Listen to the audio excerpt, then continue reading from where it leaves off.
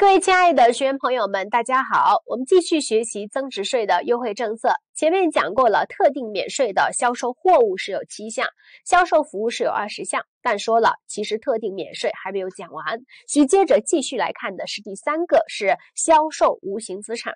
销售无形资产的优惠政策呢是两项，第一个就是个人转让著作权。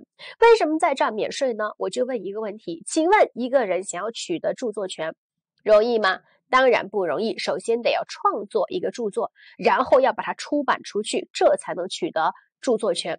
那创作一个著作容易吗？简直太不容易了，得潜心的、用心的花很多精力去进行创作。那么大部分人是做不到的，所以国家就为了鼓励个人去进行这种创作，于是对于个人转让的著作权呢，它就是免税的。明白了吧？所以这是第一个。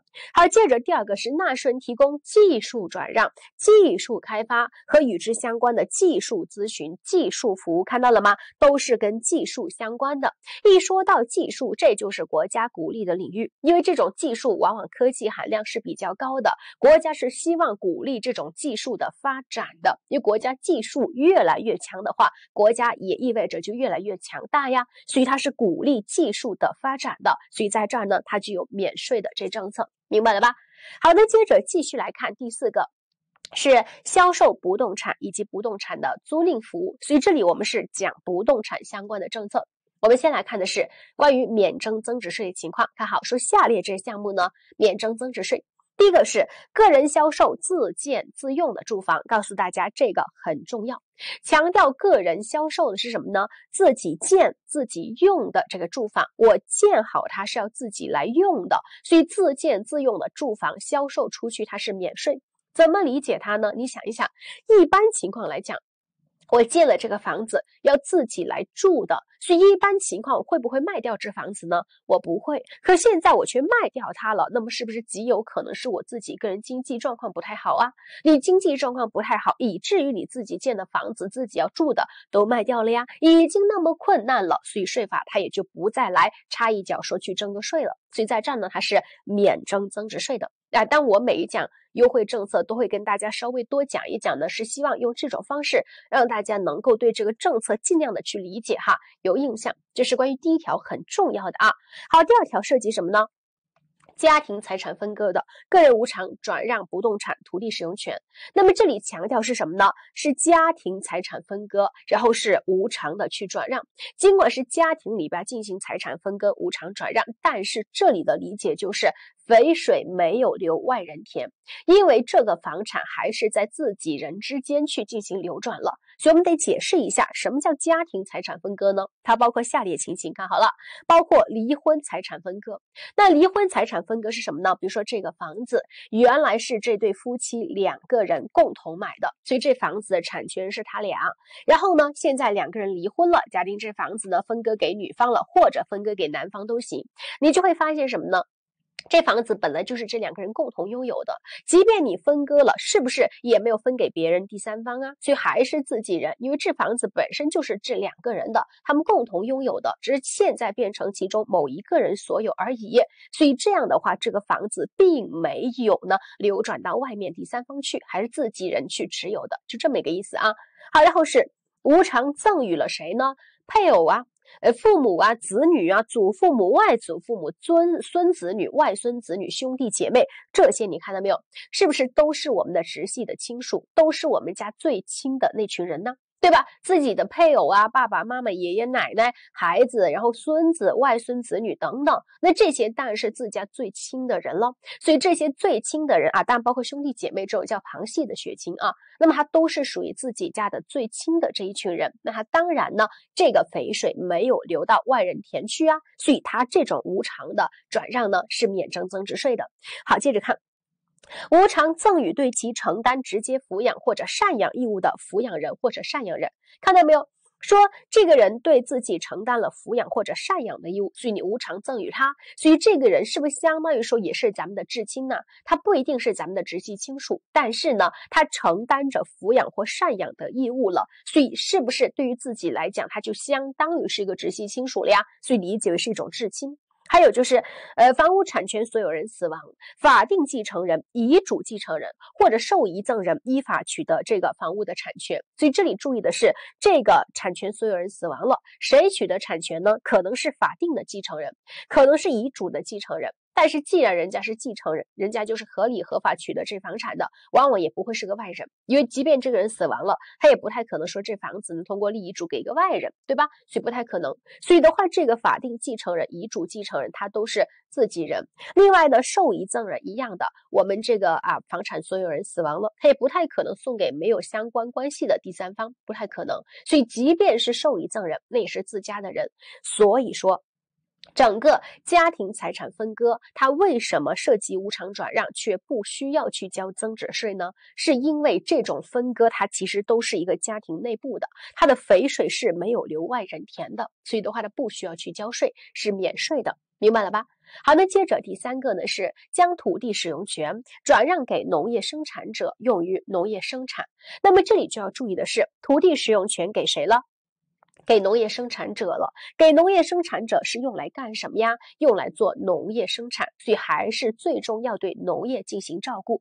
好，那这里就衍生出两个小点，第一就是纳税人采用转包、出租、互换、转让、入股等方式，将承包地也是流转给农业生产者，用于农业生产内收入，也是免增值税的。所以你看到了吗？前面我们说的是把土地使用权转让给农业生产者，用于农业生产了。那么下面就把这样的一个范围扩大了，说你即便是把这个承包的地流转给农业生产者，用于农业生产，内收入也免税。那么你这个承包的地怎么流转给内农业生产者呢？各种方式都行，转包啊、出租啊、互换啊、转让啊、入股都行。总之这块地用于给农业生产者，用于农业生产了，那它就是免税的。好，接着就是第二点，说自二零二零年的一月二十号起，纳税人将国有农用地出租给农业生产者，用于农业生产，也是免征增值税的。所以这里讲的什么呢？国有农用地你租给农业生产者，只要它用于了农业生产，那么同样的取得内收入也是免征增值税的。所以这是涉及对农业的照顾，是这块地啊跟那个农业有关系了啊。接着第四个是土地所有者出让土地使用权，和土地的使用者将土地使用权归还给土地所有者。所以这里其实说的是什么呀？是土地的所有者和土地的使用者之间出现了这块地它的权利的转移，包括所有者把地呢出让给使用者。出让的意思就是说呢，土地使用者通过给土地的所有者给他出让金的方式取得这块地的使用权，这个叫出让。所以这种出让它是属于什么呀？免税的，那反过来，这个土地的使用者呢，他把这块地归还给了所有者，所以这也是属于免税的。也就是说，这里讲到的就是关于呢这个土地的所有者和土地的使用者，他们之间涉及到这个土地权属的转移啊，包括出让出去，包括归还回来。好，接着提醒注意，说土地所有者依法征土地。看好啊，按照啊法律规定去征收土地，因为这个土地所有者是什么呀？是国有的或者集体所有的这土地，所以的话，这个土地所有者是国家或是一个集体。那么土地的所有者，他依法去征收土地了，并且向土地使用者支付了土地及其有关有形动产呐、不动产补偿费的行为，属于土地使用者将土地使用权归还给土地所有者的情形，什么意思呢？我们说了，说刚刚讲到所有者和使用者之间这种土地权属的转移是免税的。那么这种权属的转移可能是主动的，而接下来注意的这一点说的是被动的。说什么呢？说这个土地所有者他依法征收了这块地，本来这块地是这个土地使用者在用着，对吧？他拥有着使用权，已经给过出让金了，拥有着使用权。现在呢，国家可能需要这块地来用，所以这时候呢，这个土地所有者往往就比如说是国家，他呢去征收这块地，但你不能白白把人家这块地拿走啊，所以的话会给这个土地使用者呢相应的补偿费。那我们说这种情况虽然是土地的使用者，他被动的把这块地还给了国家，但是呢，是不是你也拿到了经济利益呀？所以这个同样也是属于我们这里所讲到的这个使用者归还了土地给到这个所有者，所以它同样是属于呢免征增值税的情况。因为是让我们考虑，国家为什么依法征你这块地呢？肯定你这块地有更好的用途，所以这种情况，你把这块地让这个所有者征走了，你也拿到补偿了。其实你是配合着国家的政策，所以的话，你这种配合国家政策的行为值得鼓励啊。所以你相应的那个收入呢，也就那补偿费呢，是免增值税的。好，接着再看第五个是县级以上地方人民政府或者自然资源行政主管部门出让、转让或收回自然资源使用权（括号不含土地使用权）。事实上，我们说这个自然资源它是归属于我们国家的，对不对？所以，我们说土地其实也是属于自然资源。所以，土地呢，因为我们任何单位、个人是不拥有它的所有权的，土地咱们就强调使用权。第四个就强调这块土地。它呢，在土地的所有者跟使用者之间出现了这种呢权属的转移，而第五点是由土地就扩大到什么呀？全部的自然资源，在这里为什么去掉土地使用权？因为土地使用权第四项就讲了，所以除了土地使用权之外，其他的自然资源使用权，比如说我们所讲的这种探矿权呢、采矿权呢，那么这就是一种自然资源使用权。同样的，从我们的这个所有者到使用者。他们之间的这种权属的转移，就是所有者给到使用者，可能通过出让方式，通过转让方式，然后使用者呢，他给到这个所有者的话，他通过呢收回的方式。所以的话呢，这种种出让、转让、收回呢，同样也是免征增值税的啊。所以四和五其实是一个道理。那接着第六个就是。军队空余房产租赁收入，其实军队也是我们政策倾斜的，因为军队他们是保家卫国的，为国家做贡献的，所以当然要对他们有适当的照顾。所以空余房产那租赁收入同样的是免税的。那么这就是涉及到这个不动产，事实上就包括房和地，那么他们涉及的这么一系列的免征增值税的政策。这里呢，我们一共是讲了这么六个项目哈，大家都要有一定的印象。好，接着我们继续来看的第二个，它不是免税，它是属于优惠政策，但不是免税，就是个人出租住房。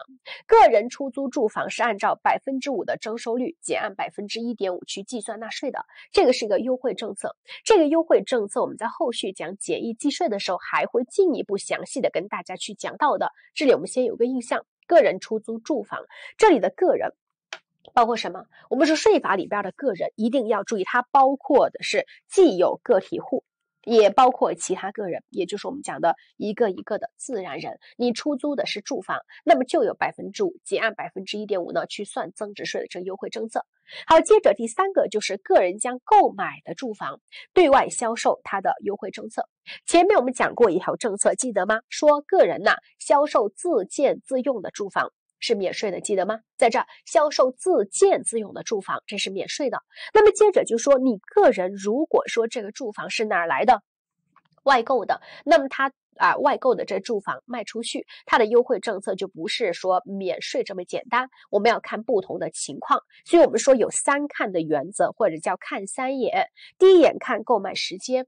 第二眼看购买的地区，第三眼看购买的类型，具体就是这张表。第一眼我们来看看购买的时间，购买时间是跟两年去比，如果购买的时间不足两年的，那么啊，不管你是在哪个地方买的房产，是什么样的房产都不要紧，只要购买时间不足两年的。那么这样子的房产，它卖出去就是全额去征税的，全额去征税，按照百分之五的征收率去计税。所以这是看第一眼。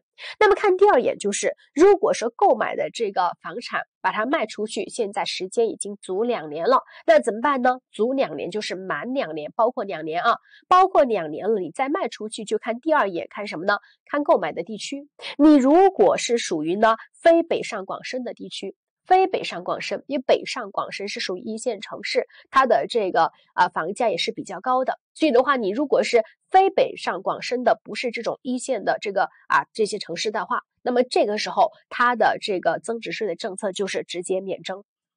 看到了吗？北上广深房价非常高，所以的话呢，它得另说。那么我们如果是非北上广深呢，这时候直接就是免征了。好，那接着如果是北上广深呢？如果是北上广深的话，那么这个时候我们就得看第三页，叫做看购买的类型。购买的类型就要看你是普通的住房呢，还是非普通的住房。如果是普通住房，那确实是免征的。就即便你是北上广深，只要你买的是普通住房，只要购买的时间满了两年，那么你卖出去它就是免税的。但如果是非普通住房呢？比如说买的是别墅，把它卖出去，那非非普通住房的话就得征税了。这征税是按照差价百分之五去计征的。所以你看，是卖出价减去买入价除一加百分之五，再乘百分之五。所以这就是关于这个个人购买的住房对外销售的政策。这个政策同样后续我们还会提到，在这里一定要有印象哈，要尽量的能知道。看三眼：一看购买时间，二看购买地区，三看购买的类型。那么不同的时间、不同地区、不同类型呢，它的优惠政策是有差别的。所以这是关于呢，这里涉及到不动产的相关优惠政策就讲完了。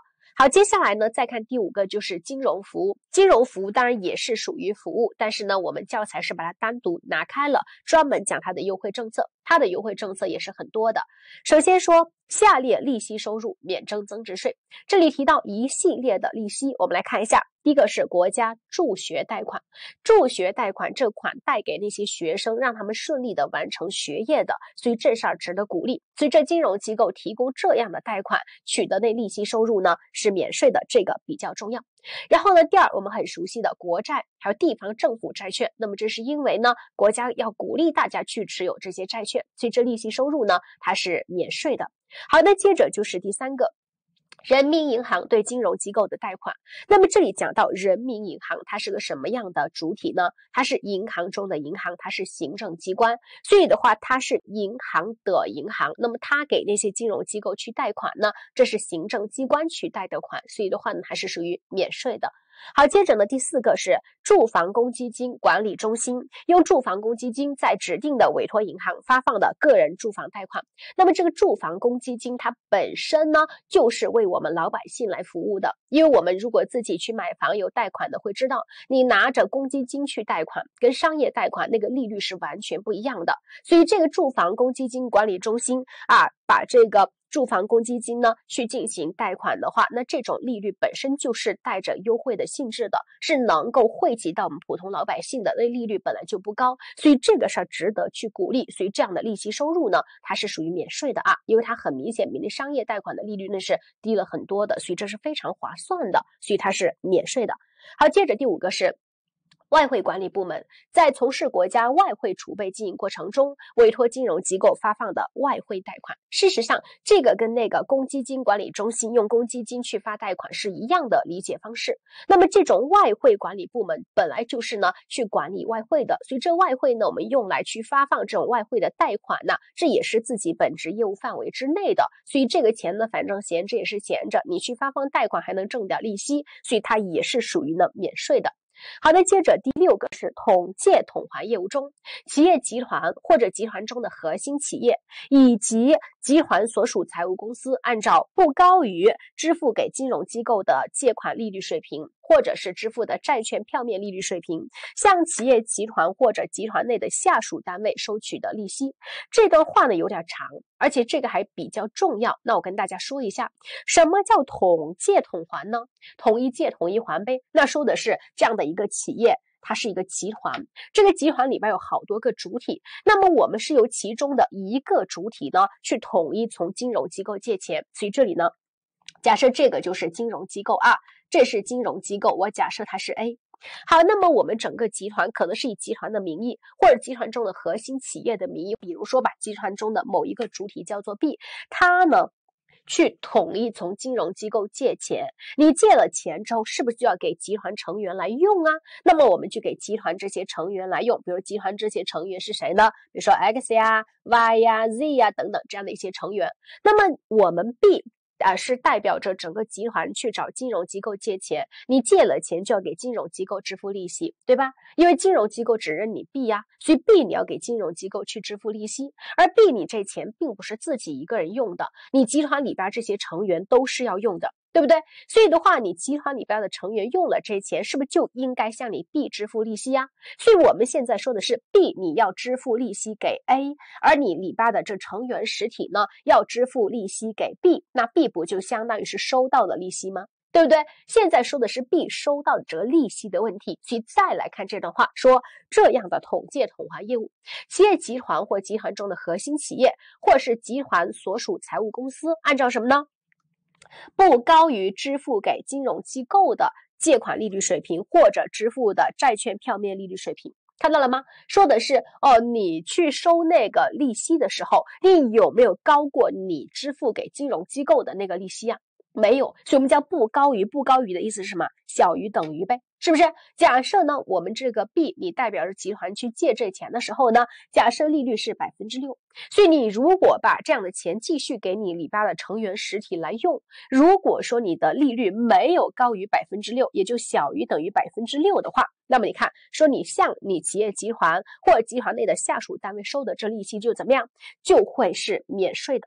那么，其实从这段话的反面来看，就是你如果说你向啊，这是你的集团里边的这些成员实际去收利息，如果利率你超过了，高于了这百分之六，那怎么样？那高于了肯定是全额去缴增值税的。听明白了吧？所以强调统借统还，咱们作为统借统还的这个主体，你收的那个利息的利率不能高过呢你向金融机构借款的那利率。但如果你是发行债券呢，不能高于那个债券的票面利率。只要不高于，说明你其实就是呢起着这样一个中间人的作用，把钱借进来，然后呢方便大家再把利息收上来，再交给金融机构，你根本就没有从中去牟利。所以的话，这种情况你没有去牟利，当然就不应该去交这税呀，所以这税就是免的，明白了吧？好那，接着再提醒后边的说，一九年的二月一号到二三年的十二月三十一号，看好了。对于集团内单位之间的资金无偿借贷行为，免征增值税。所以这个政策哈，大家一定要看好了。你一个集团内部，那么有 A 单位、有 B 单位、有 C 单位，咱都归属于，比如说甲集团。那么我们集团内这些 A、B、C 这些单位之间资金的无偿借贷，它是免征增值税的，它不需要说啊视同销售去交这个税，它呢就是免交增值税的。所以这也是一个优惠政策哈。那么这里呢第六项是比较重要的。我们这里是给大家讲了这么多的利息收入嘛，对吧？第六项比较重要。另外的话呢，这个国债和地方政府债还有助学贷款，那么这些也是要去关注到的。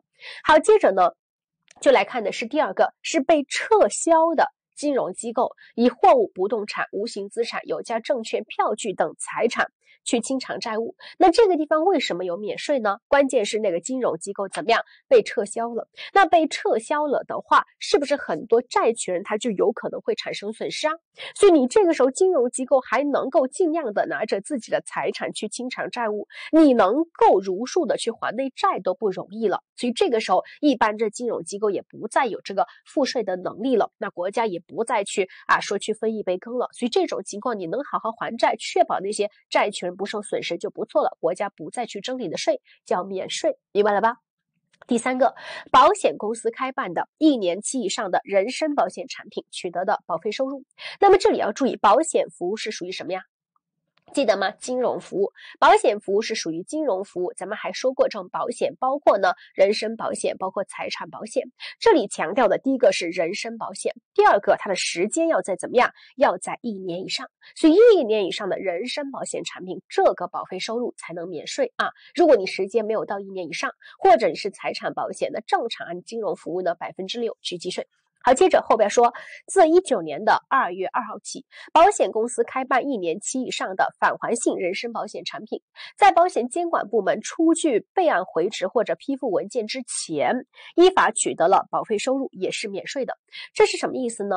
因为我们刚说，你开办的一年期以上人身保险产品，那保费收入本身就是免税的呀，对吧？但是你要出具什么呀？啊，但是你要拿到什么呀？保险监管部门出具的备案回执或者是批复文件，你只有拿到这东西了，才证明你确确实实呢是经过了批准了的。所以这个时候呢，按道理你才能够去啊对相应的保费收入去免税。可这里是告诉我们说，从一九年二月二号开始呢，你在拿到这样的一个备案回执或批复文件之前，你取到了保费收入呢，我也可以让你呀去免税，所以相当于这个免税政策是可以往前去追溯，追溯到你备案之前的那保费收入的，就这意思哈。好，这是第三项，呃，那么这里的二和三都不是特别重要，尽量的知道就行。接着第四个是下列的金融商品的转让收入，那么这里就提到了这么一些项目哈。第一个就是合格境外投资者，就是我们讲 QFII，就是这种合格的境外的这些投资者呀，到中国境内来投资，那我们国家是非常欢迎的呀，对吧？所以合格境外的这些投资者，他委托境内公司在我国从事证券买卖业务，我们非常欢迎、非常鼓励这种合格境外的投资者来投资。鼓励方式就是你委托境内公司在我国从事证券买卖，我给你免增值税。好，那接着第二是香港市场投资者，包括单位和个人，通过沪港通买卖上海证券交易所上市的 A 股。那么这里讲的沪港通，沪是什么？上海呗，港呢？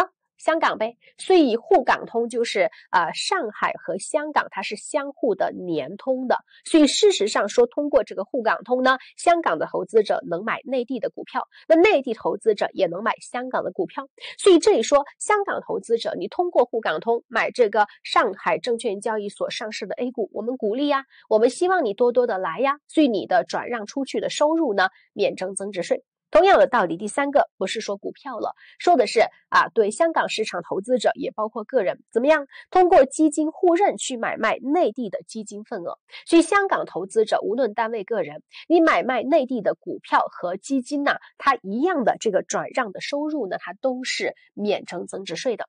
好，接着第四个是证券投资基金，包括封闭式的，包括开放式的。这个证券投资基金管理人运用基金去买卖股票、债券，那这里同样的也是国家所鼓励的一个方向。为什么呢？因为什么叫证券投资基金呢？从名字上看，就这个基金用来干嘛的？做证券投资的。事实上，它是一种呢积少成多的组合方式的投资。为什么？因为我们平时个人散户去投资呢，很容易产生风险。像有的朋友炒股哈，那么都是有亏的。包括我自己呢，不怎么炒，但是呢，我就近两年也是稍微买了点股票，那叫亏的一个彻底呀。我现在都不去看那个呃价格的波动了，因为实在亏得简直心都碎了，干脆就不看，不看就不烦。所以个人投资者去投资呢。风险是非常高的，那么国家就不愿意看到这些散户都是亏损的这种情况，于是就鼓励说，哎，大家能不能报个团，一块儿的一个团的方式来进行投资呢？这个时候就有了这个证券投资基金，所以它就是呢，把这些投资者的钱呢都聚集到一块儿，放到这个基金里边。那基金里边有基金管理人，这个基金管理人他是非常专业的，他帮着大家去打理这个财产，他帮着大家去投资，所以这就是。证券投资基金，所以很明显，这个证券投资基金是国家政策大力的扶持的，希望大家通过这样的基金来投资，来减少这些投资者的投资风险。那既然国家是鼓励的，所以这种证券投资基金管理人运用基金去买卖股票、债券，它就是免税的了。看明白了吧？所以这里。我们讲了这么四个项目，你会发现它都是什么呀？它都是属于呢基于鼓励的这个需要，从而制定的优惠政策，包括合格境外投资者、香港投资者，我们鼓励你到我们内地来进行投资啊。然后呢，证券投资基金的话是鼓励散户通过这基金去投资啊，都是基于鼓励的需要，从这个角度理解。而第五个特别重要。是什么呢？个人从事金融商品转让，就是这个转让的主体是谁？是个个人。那个人去转让，比如个人把这股票卖出去了，那么这样子的金融商品的转让业务，它的这收入是免增增值税的，这个很重要啊。好，这里第四项就讲完了，涉及金融商品的转让。那接着第五个是金融同业往来利息收入。同业就同行业呗，都涉及到金融机构，那么他们之间的这种呢利息收入怎么样规定的呢？所以下列列的这些利息呢，它是免税的。第一个就是金融机构与谁人民银行所发生的资金往来业务。那么这里我们其实前面就提到了，说人民银行对金融机构的贷款，那个贷款的利息是免税的。那你其实人民银行和金融机构之间的这种贷款关系，那么我们人民银行收的可不就是贷款的利息收入吗？所以这个利息收入它是免税，我们在前面其实就有提到过，对吧？好那，这里就注意了，说包括人民银行对一般金融机构的贷款，也包括呢人民银银行对商业银行的再贴现。什么叫再贴现呢？贴现，我想大家都知道，那么就是做一个企业，你把这张商业的汇票，呃，在商业汇票到期之前呢，提前卖给银行，这个叫贴现，应该知道吧？比如说我这张商业汇票呢，它是面值是一百万，假设不考虑利息啊，那么我这张汇票呢？是三个月以后才会到期，但是我现在着急用钱呢，那怎么办呢？三个月以后才到期，我现在着急用钱，我就可以把这张票据贴现给银行。所以这个贴现说白了就是把这张票据提前一点、便宜一点卖给银行，但这银行是商业银行，比如说。一百万的这个商业汇票，我提前啊就提前三个月卖给银行了，我叫贴现给银行。贴现的这个银行是商业银行，比如说是啊这个 A 银行，那么 A 银行是个商业银行啊。那假设呢贴现给他，那银行收了贴现息，比如说是十万，这个十万就是银行收的贴现息，事实上是一种利息。那么商业银行呢，它也缺钱花呀，所以它可以怎么办呢？它可以把这张票据怎么样再贴现给人民银行。因为前面讲了，人民银行是银行中的银行，所以的话，商业银行它呃需要把这张票据再去贴现的话，你只能再贴现给人民银行。所以把这个商业银行啊接受贴现的票据再贴现给人民银行，那这就是所谓的再贴现。再贴现，那人民银行是不是也会收贴现息啊？所以人民银行收的这贴现息，事实上它就是一种贷款的利息呀。对吧？所以这个贴现息就是一种贷款利息。于是这里告诉我们，这个包括一般贷款，包括呢再贴现对应的那个贷款的利息啊，它都是属于呢免税的。好，接着第二个叫银行年行往来业务，第三个叫金融机构之间的资金往来业务。那这里我得解释一下，这个年行是什么意思？然后这个金融机构之间资金往来又是什么意思？事实上，这个年行年是什么意思啊？联系呗。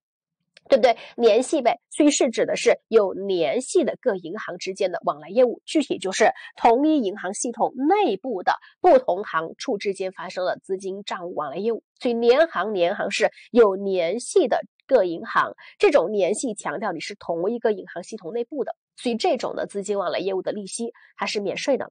那么前面讲金融机构之间的资金往来业务，金融机构之间的话，那么它其实说的就是这个同业拆借，大家不是同一个银行系统内部的，所以它是指呢经人民银行批准进入全国银行间同业拆借市场的金融机构之间，通过全国统一的同业拆借网络进行短期无担保资金的融通行为。所以你看好了吗？二和三当然不是我们考核的细节，但是要说清楚。二讲的是联行是同一银行系统内部之间的资金往来，第三说的是金融机构之间，说明大家不是同一个银行系统内部，是不同的银行之间的，它只是都同属于呢金融机构，所以它呢是这种所谓的同业的拆借，明白了吧？那不管你是联行往来业务，还是这种同业拆借涉及到这种利息，它都是。免税的，明白了啊？所以这是涉及同业的问题。接着第六个呢是创新企业境内发行存托凭证，也就是这个 CDR 试点阶段的有关税收政策。那这个存托凭证，这个 CDR 是怎么回事呢？其实我们在税法二的企业所得税、个人所得税、印花税都讲这个问题，而我们税一的增值税呢，也要讲到它的这个税收政策。这个 CDR 事实上就是中国存托凭证，它是把英文单词首字母缩写到一块儿了，也就是 Chinese。Depository receipt，所以这叫中国存托凭证。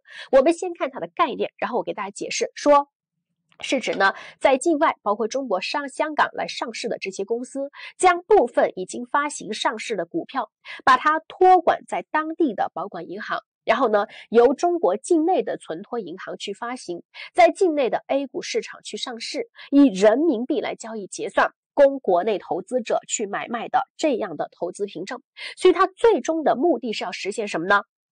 股票的异地买卖。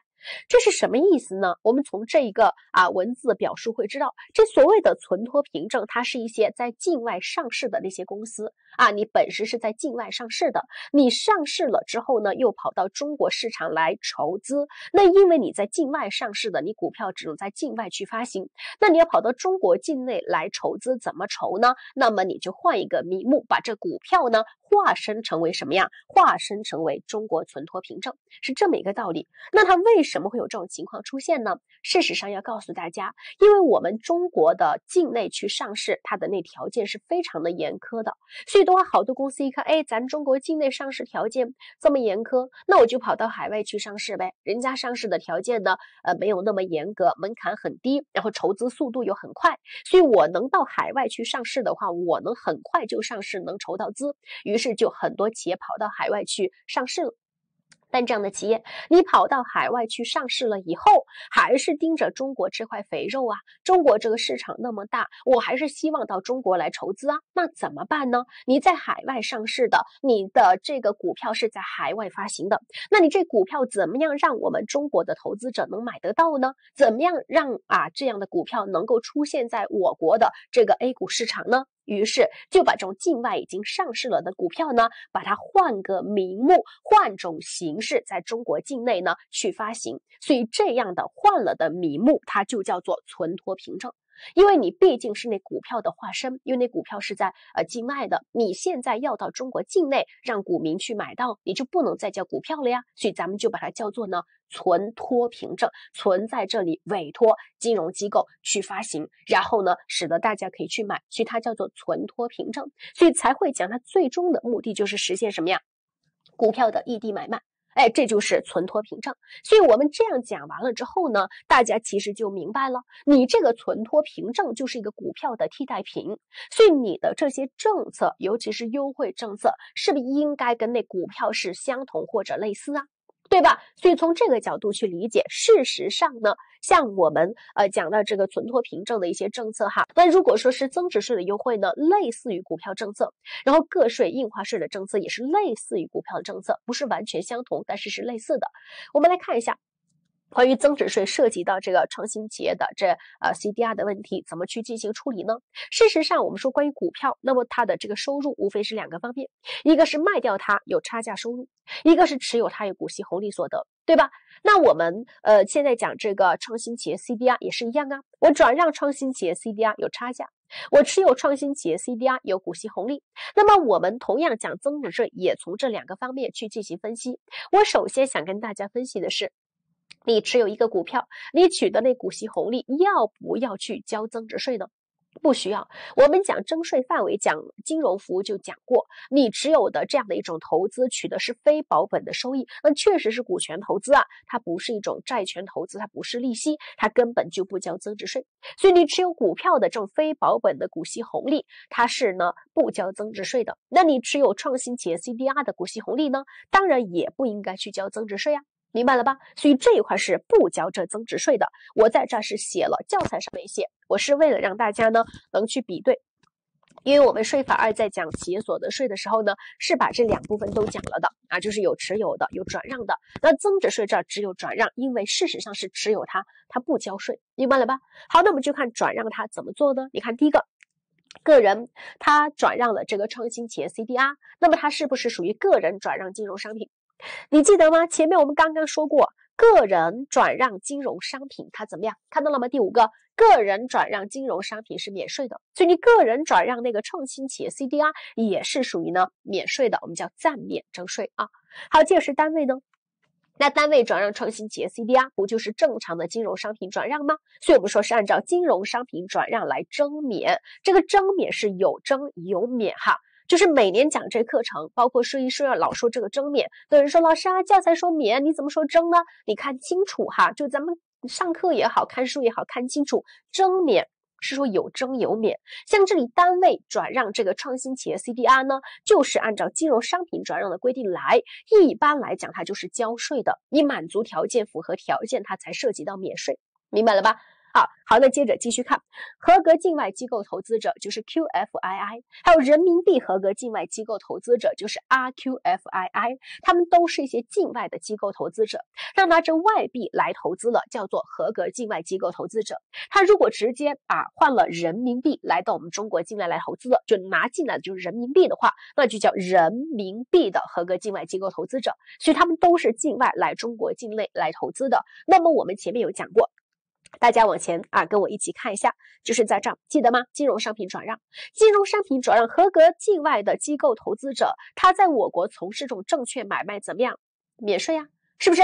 那你是正常的买卖证券是免税的，你呢？如果是买卖这创新企业 CDR 呢，同样的也是免的，但我们叫暂免，因为暂时呢，这个创新企业 CDR 它其实呢，呃，是近些年才活跃的，时间不是特别长，所以我们慢慢的去试一试，所以叫暂免。看好了吧，它是不是跟那股票政策它是相通的呀？好，接着看公募证券投资基金，前面也说了，这种公募证券投资基金啊，去收集或者说是呢啊，把这个投资者的钱呢聚集到一块儿去进行投资，风险低，国家鼓励。所以前面说了，它这个公募证券投资基金管理人运用基金去进行这种证券的投资，那么你即便把这个啊证券给转让出去，那收入是免税的。是不是？那你现在转让创新企业 CDR 呢？我们说是三年内暂免，三年内暂免。所以这是我说的，呃，增值税这个创新企业 CDR 它的政策和股票类似。我为什么说类似呢？其实就是在这儿，这个公募证券投资基金它仅仅体现为什么呢？转让创新企业 CDR 的差价是三年内暂免，它不是说一直去免税的。所以这种类似就体现在这儿。明白了吧？好，这就是关于这个点哈。那么一定要能够清楚它大概是怎么回事儿，因为这个东西呢是近些年比较火的，那大家是要关注这种有时效性的东西啊。好，来看题，说下列金融服务免征增值税的是，你注意看，这是二一年的真题啊。证券公司转让有价证券 A 选项能免吗？当然不能免呐。你转让有价证券那正常的金融商品转让要去交增值税。B 保险公司提供的财产保险服务不行，我们说什么一年期以上的人身保险服务内保费收入才能免税，财产保险可不能免。好，再来看 C，呃，企业集团内。单位之间的资金无偿借贷行为，这就是免税的了。我们说这个呢是啊，目前比较火的一个政策，有好多单位，哎，它内部的单位之间呢有这种资金的无偿借贷，那好多人就会问我说，老师要不要交税呀？目前它这种内部单位的无偿借贷呢是属于免征增值税的啊，所以这道题呢答案选 C。好，再来看 D，银行对大型企业贷款业务，哦，你对大型企业贷款，那当然得征税呀，是不是？所以这呢肯定是不能免的。所以这道题答案选 C。好，这是关于金融服务讲完了。好，那接着第六个是进口货物这一部分呢，我觉得是啊，尽量的去熟悉一下就行了。所以它呢是尽量的熟悉，然后呢以了解为主就可以了。因为这部分的内容呢比较的杂，比较的泛，所以我想就是把握大方向就可以了。我们给大家大概的看一看哈，这里有好几段话呢，但是每一段话呢其实基本上表达的含义都差不多。你看啊。第一项，对中国经济图书进出口公司、中国出版对外贸易总公司为大专院校和科研单位去免税进口的图书、报刊等资料，在其销售给上述院校跟单位的时候呢，就免征国内销售环节的增值税。你说这样子的图书报刊免税进口进来，然后你是要卖给大专的院校和科研单位的，那么这些学校、这些科研单位，那是不是都是呢涉及到了研究的、涉及到了教学的呀？那这块国家得去鼓励。所以的话呢，说你即便呃把这些图书免税进口进来了，你再卖给这些大专院校跟科研单位呢，直接免了国内环节的这增值税。好，接着第二。对中国教育图书进出口公司、北京中科进出口公司、中国国际图书贸易总公司销售给高等学校、科研单位、北京图书馆的进口图书报刊资料免征增值税，就涉及到一些特殊的主体。那么他们把这些书怎么样？他们把这些书呢卖给了高等学校、科研单位和图书馆，都是一看的就是充满着文化气息的这样的一些对象。高等学校、高校嘛，科研单位嘛，还有图书馆嘛，那都是属于呢。充满文化气息的，所以国家鼓励这种文化它的发展，所以呢，它同样是免征这增值税的。好，接着第三个，对中国科技资料进出口公总公司为科研单位、大专院校进口的用于科研教学的图书、文献、报刊以及其他资料，那么这些它都是免征国内环节增值税。所以，同样跟科研单位、跟大专院校有关系。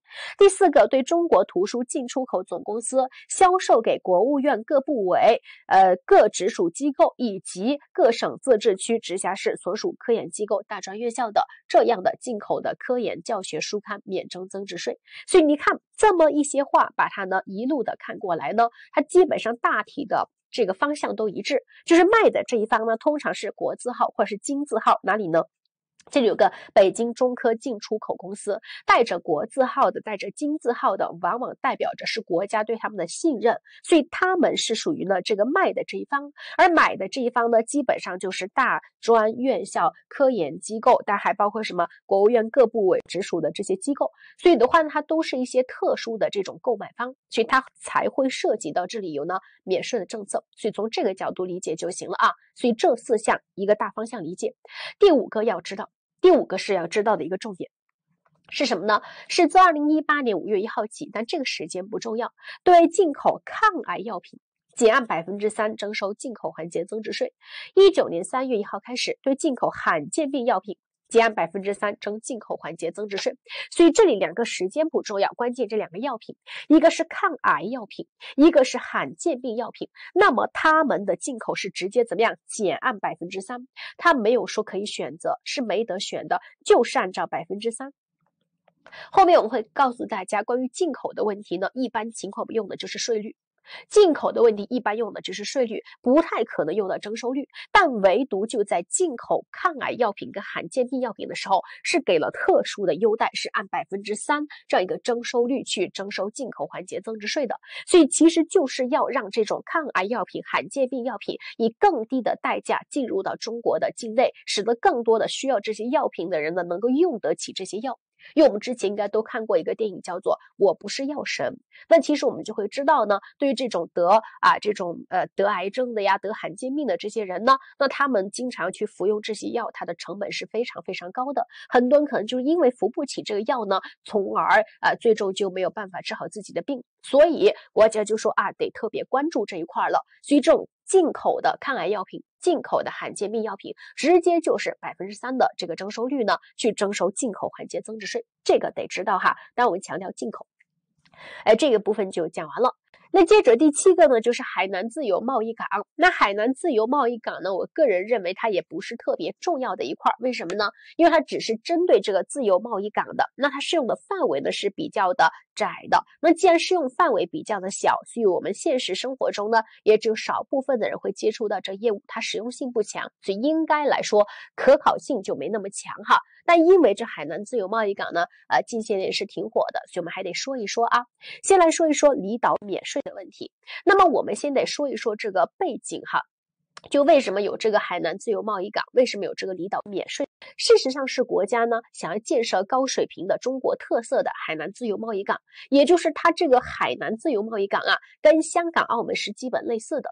所以海南它是有望成为中国对标香港的又一大自由贸易港。你这么说如果没有感觉的话，你看有的朋友之前喜欢去香港、澳门买东西，那么现在疫情期间，其实我们去香港、澳门相对来说都不太安全。那你可以去海南，去海南买东西，或者啊飞到海南去买，或者直接在海南的免税店内网站上的去买都是可以的。因为你在海南去买，跟去香港、澳门买现在是一回事了。所以这个海南自由贸易港啊，它就跟香港跟澳门呢是一个道理，而它就是一个自由的贸易港啊。好，这是关于背景。好，那接着我们就会来讲这个离岛免税是怎么个意思呢？离岛，因为海南是个岛嘛，所以离开海南岛有这个免税的政策。具体大家看它的概念是啥呢？是指对乘飞机、火车、轮船离岛，但这说是离岛，不是离境哈。离境就是你离开中国了，去到别的国家了。这离岛是离开这个岛，所以这种叫离岛。那么，呃，乘坐飞机、火车、轮船这样的一些交通工具离岛的旅客，他实行限值、限量、限品种、免进口税的购物。看到了吧？是飞机、火车、轮船这些交通方式都行。然后我们的这个免税呢，它是没有啊，它不是说没有原则的，它是限值、限量、限品种、免进口税的购物，在实施离岛免税政策的免税商店内，或者是经批准的网上销售窗口去付款，在机场。火车站、港口码头指定的区域提货离岛的税收优惠政策，所以这里说的就是你去了海南岛，乘坐这些交通工具离开了，那么你就可以享受这种限值、限量、限品种的免税的这种购物。那么免税购物怎么个购法呢？你先去付钱，你在免税店付钱也行。你在他的这个网上销售窗口去付钱也行。你付了钱之后，你是在指定的区域提货，离岛了，你才能够拿走这样的货物。所以他强调，一定是离开了岛，你才能享受这个政策哈。为什么你先付钱，等你走的时候再提货呢？确保你真的是离岛了，害怕你根本没离岛，故意呢去想买这种相对便宜的货物，这是不行的。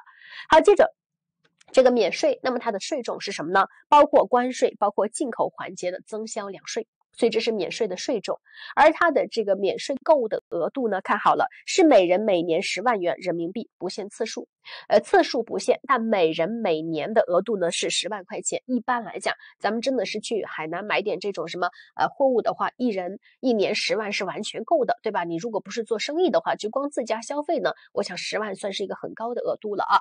好，接着再来看具体的政策，它是这样的，第一个。说，呃，海南离岛免税店销售离岛免税商品，免征增值税和消费税。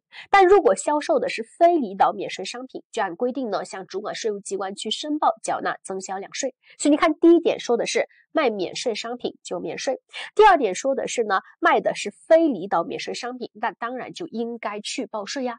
为什么有离岛免税的，有非离岛免税的呢？因为前面说了，这种离岛免税它是限值、限量、限品种的呀。限品种意味着有的品种它确实是免税，但有的不是免税的呀。所以免税的才免征，不免税的当然就要征税了。听明白了吧？好，那接着第三个。说这个离岛免税店兼营应征增值税、消费税项目的，那就要分别去核算离岛免税商品和应税项目的销售额。没有分别核算呢，肯定不能免税了。意思就是啊，你不是有的是有免税的吗？有的是该征税的吗？有免有征，当然强调分别核算；没有分别核算，肯定就没有优惠，不能免税了呀。好，接着第四个。离岛免税店销售离岛免税商品要开具增值税的普通发票，不得开具专票。为什么？因为你没交税呀。我们说一般的情况之下，你卖方没交税，你就不能去开专票。因为卖方没交税，一般的情况之下，买方他就不能去抵税，所以你就不能把那专票开给买方，因为买方根本就不能去抵这个税。而且这样的离岛免税的情况呢，一般就是你个人呢自己去买了这东西回来，一般是用于个人的消费，也不太可能说还需要去抵。税也用不上这个专票，所以这里就规定了说你不能去开专票，你只能开普票。好，这是关于离岛免税的这样的一些要点哈，大家要清楚。那接着说一说呢，我们今年教材新增的一个内容。那么这里呢，大概的知道一下就行了，是关于呢进出的航班加注保税航油。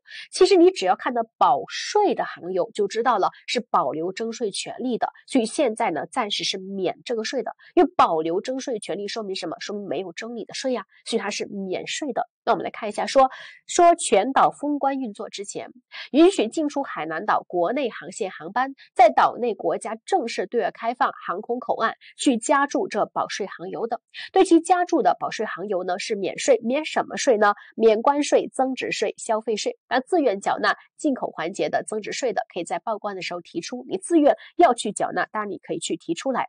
好的，这里就强调什么呢？第一个说。